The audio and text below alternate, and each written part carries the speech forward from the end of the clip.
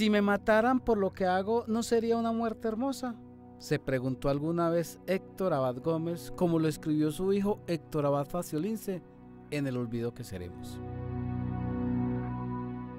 La epidemiología ha salvado más vidas que todas las terapéuticas, decía este hombre, cuyo legado sigue vigente y lo mejor, presente en nuevas generaciones, como lo plasmaron las manos expertas del grafitero Wes Honor en este mural ubicado en la parte posterior de la institución educativa Consejo de Bello.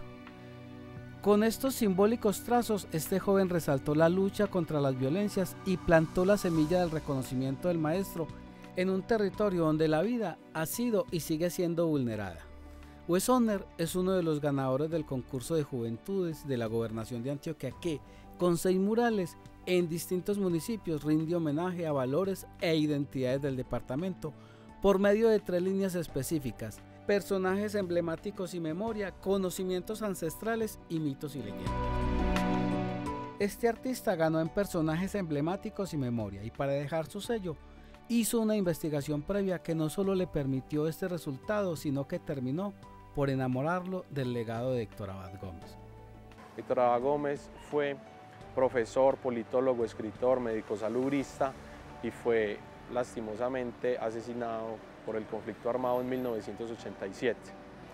En base a eso, eh, quise hacerle este homenaje porque la humanidad está pasando por un momento muy crucial como es la pandemia y la medicina ha tenido gran importancia, pero en medio de la pandemia el país también sigue sufriendo por el conflicto armado, siguen quitando vidas y un personaje que me relacionaba las dos temáticas era Héctor Gómez.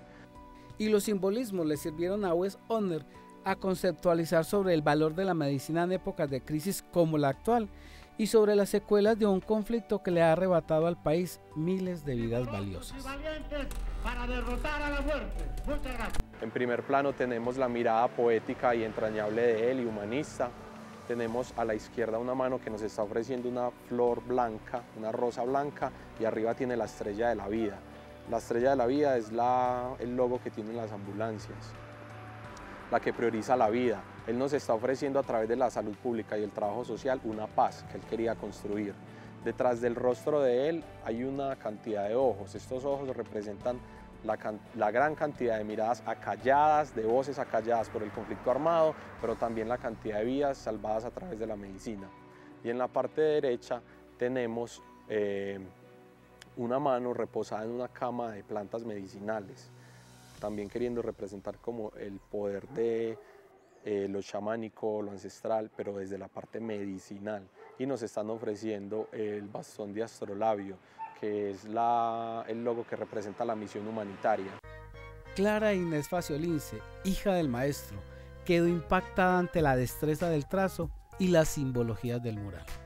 Le quedó perfecto, perfecto, porque es que ahí están, digamos, me pareció muy bonito lo que él quiso interpretar como con los ojos que están detrás de la cara de mi papá, como las distintas miradas eh, de las personas acerca del pensamiento y de lo que significaba mi papá.